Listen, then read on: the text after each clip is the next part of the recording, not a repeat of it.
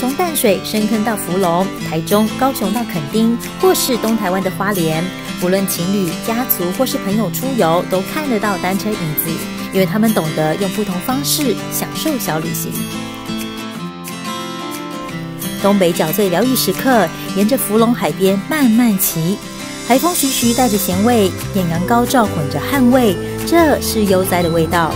瞬间回春，莫过于此。只看风景够吗？当地知名九孔养殖场的 DIY 游程怎能错过？我们的一个活动的内容来讲的话，最主要就是说当地的地形地貌介绍，然后呃九孔的一个生态介绍，然后九孔的喂养体验。那以及一些水中生物、九孔池中的水中生物的介绍。那当然，最后的重头戏就是我们会呃品尝，让游客自己 DIY 制造九孔。那整个游程的一个时间大概是在一个半小时到两个小时之间。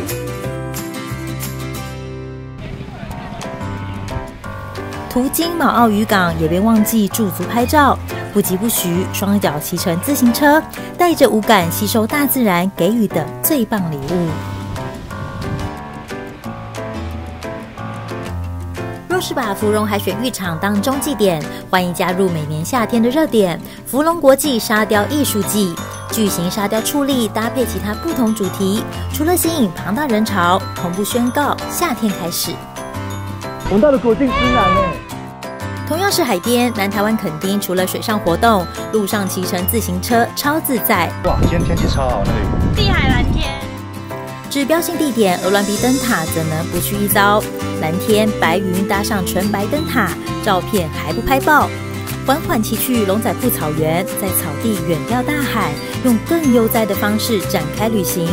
行经加尔公路，或是拥有特殊地形的沙岛，依次感受南岛风情。往南一点，船帆是矗立在海上，像是跟骑士说声嗨。记得驻足休息，才能骑更远的路。和闺蜜来场港都高雄的约会，不再局限完美下午茶。从芙蓉高雄店出发，来光荣码头骑车晒艳阳，才够青春。紧接着去金鱼提案，不用急，慢慢听自己的心跳，和闺蜜相视而笑。再骑去前镇之星，漫游造型大桥，用单车取代步行，随风摇曳到博二艺术特区，感受不一样的高雄。别忘记和会移动的大港桥合照一百张，才算有个完美句号。从南往北走，力宝乐园度假区同样自行车友善，整个园区腹地广大，选对季节还能畅游入雨松，浪漫指数急速上升。想更拉近跟对方的距离，记得骑去油菜花田、忘忧谷赏美景，骑单车好不惬意。在安插镇南宫拜拜行程，品尝经典小吃霸丸也是独特回忆。再去高美湿地迎接最美夕阳，西边的风吹在脸上，让人直呼不想回家。北之淡水，从芙蓉渔马店出发，第一站先到离饭店最近的轻轨站，往超夯热点蓝海桥骑乘。或者海风不疾不徐，骑上海尾仔观海秘境自行车道，仿佛把一切烦恼抛在脑后，留下的只有开心而已。毕竟骑自行车相当耗体力，私心推荐福星阿妈笋肉包，满满的馅料与汤汁，吃饱再上路。还有下一关石门洞等你来挑战。如果想练腿力，继续往前华十八王公庙前进吧，保准你骑的不要不要。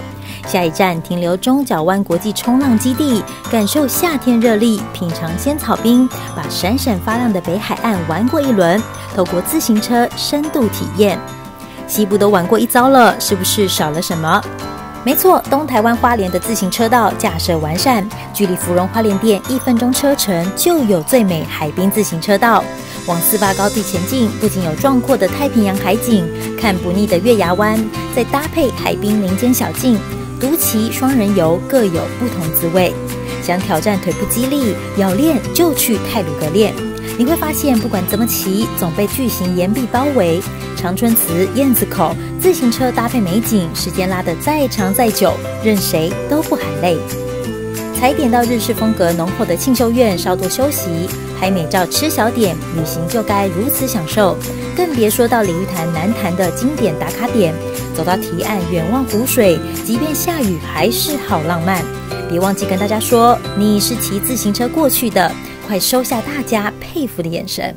绕一圈台湾，回到深坑，来老街吃吃喝喝，照样能骑自行车环步旅行，欣赏台湾最美角落，同时找回最单纯的自己。